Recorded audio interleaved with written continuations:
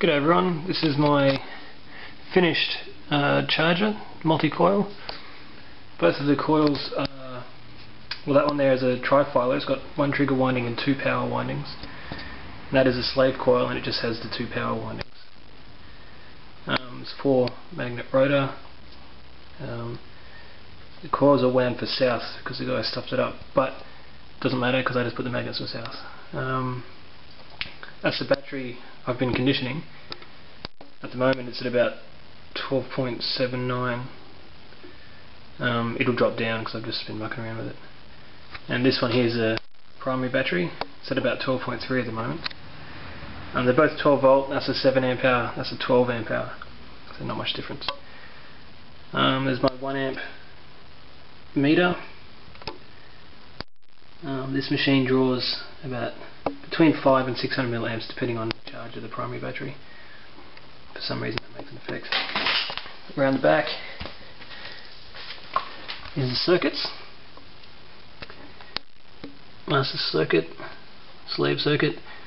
I popped three of these neons the other day, um, which was lucky. It popped those and not my transistors. I was running on 24 volts and I just disconnected accidentally. Um, sitting around and show you how this works. So, I'll just flick my switch and we'll watch this power gauge as I spin the wheel very gently. We'll go through two shifts. First, we'll go up to about six and drop back down. And it will rise to full power, just over 500. Now already, because this is a slightly conditioned battery, it's shooting up in voltage.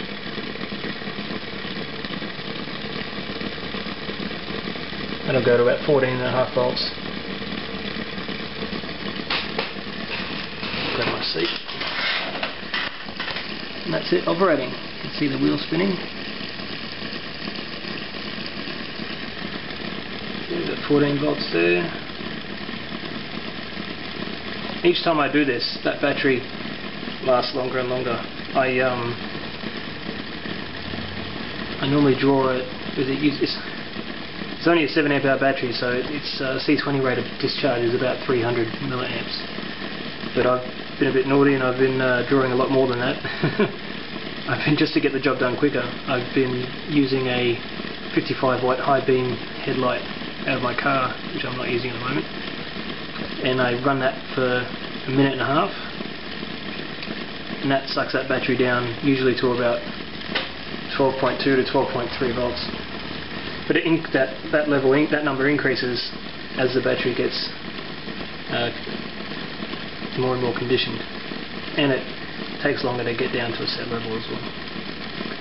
So that'll go up to climb up to about 14 and a half volts. So this battery is going pretty good. When I first started, it's only been about 10 cycles. But when I first started doing it, um, this battery would charge fine on a normal charger. But the radiant charger here could only get it up to about, barely, not even 12.8. So, and as I've, yeah, so it's only been about 10 cycles, and it's already, this will fully charge this battery now, which is good. Then I'll be char the conditioning this one.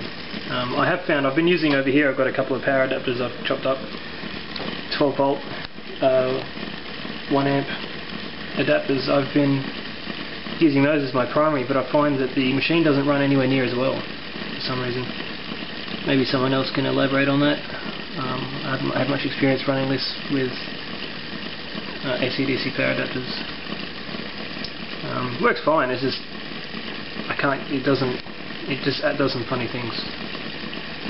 Um, and because my neons are busted at the moment, and I haven't got a strong enough capacitor to test the spikes, I can't compare the output.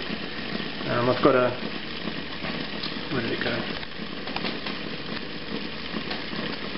Oh, I can't find it.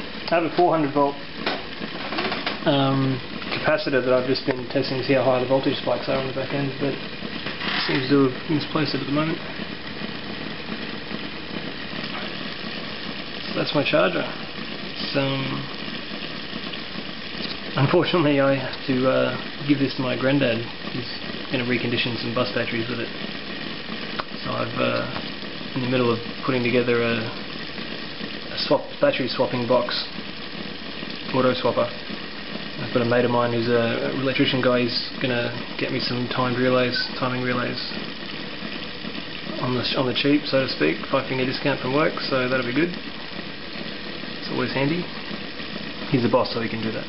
I think he knows what I mean. Yeah, so that's that. That's my car battery I got for free from Battery World. It's um, it's not too bad. It's just a little bit sulfated. So uh, once I get a, a couple more equal batteries of this similar size, I'll um, I'll set about when and when I get my charger back, I'll set about fixing these up and conditioning these. Hopefully, I'll get some results. So that's that. Um, yeah, I think it turned out quite well. I'm quite pleased with it. So, all right. Cheers. See you later.